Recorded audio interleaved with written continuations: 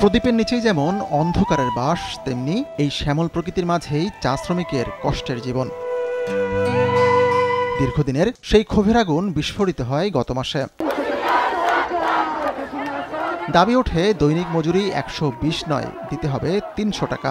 দফায় দফায় বৈঠক আর আলোচনার পর প্রধানমন্ত্রীর নির্দেশে মজুরি দাঁড়ায় একশো সত্তর টাকায়। সবকিছু মিলিয়ে পাঁচশো টাকার সাড়ে চারশো বা পাঁচশো টাকার মতো দৈনিক পড়বে পরে উনিশ দিনের আন্দোলন থেকে সরে এসে আঠাশ আগস্ট কাজে ফেরেন শ্রমিকেরা। ধন্যবাদ দেন প্রধানমন্ত্রীকে। সেদিনই ঘোষণা ছিল, প্রধানমন্ত্রী মত বিনিময় করবেন শ্রমিকদের সঙ্গে। অবশেষে শ্রমিকের জীবনে সরকার প্রধানের সঙ্গে কথা বলার সুযোগ আসে শনিবার। এই উপলক্ষে মৌলভীবাজার, হবিগঞ্জ, সিলেট এবং চট্টগ্রামের চা বাগানের নামে উৎসবের আমেজ।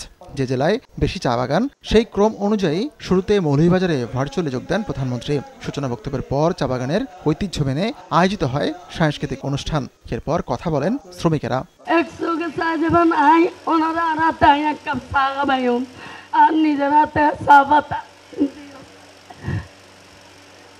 আসব আমি আসব। আপনি কাঁদলেন আমি আসব। চা খাব। বেতন বৃদ্ধির আনন্দে সরাসরি সরকার প্রধানকে উচ্ছ্বাস জানান তারা। সারা জীবন আমাদের চা বাগানের চা শ্রমিকদের বুকে থাকবে আমরা কখনো কোনো সময় ভুলে যাব না।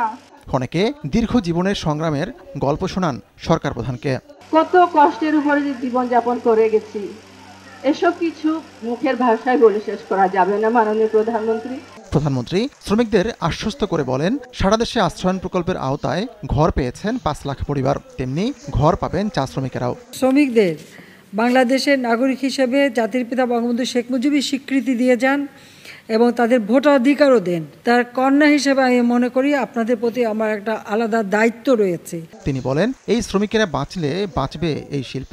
তাই এই শিল্পের স্বার্থে মালিক শ্রমিকদের এগিয়ে আসার আহ্বান জানান প্রধানমন্ত্রী। আপনারা গণভবনে এসেছিলেন আমার জন্য উপহারও নিয়ে এসেছিলেন। সেই যে উপহার আমি কিন্তু এখন হাতে পড়ে বসে আছি। আমার হাতে আছে। আপনাদের দেয়া উপহার। আমি এটা ভুলিনি। আমার কাছে এটা হচ্ছে সবথেকে অমূল্য সম্পদ। কারণ আমার চা শ্রমিক ভাইরা চার না আট আনা করে পয়সা জমিয়ে আমাকে এই উপহারটা দিয়েছেন। বোধহয় আমার জীবনে এত সম্মান এবং এত বড় উপহার আমি আর কখনো পাইনি। এর জন্য সবসময় এটা আমি রাখি। সবশেষে চট্টগ্রামের কর্ণফুলী চা বাগান থেকে আয়োজিত হয় সাংস্কৃতিক অনুষ্ঠান। পরে আবারও সমাপনী বক্তব্য দেন প্রধানমন্ত্রী। আতিকুর রহমান তামাল সময় সংবাদ ঢাকা।